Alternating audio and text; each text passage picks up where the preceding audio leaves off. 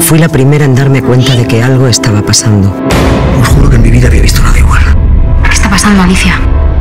Algo pasó durante aquellas ocho horas en las que el cielo se desplomaba sobre nuestras cabezas. Algo que cambiaba a las personas. El incidente. Estreno en A3 Series.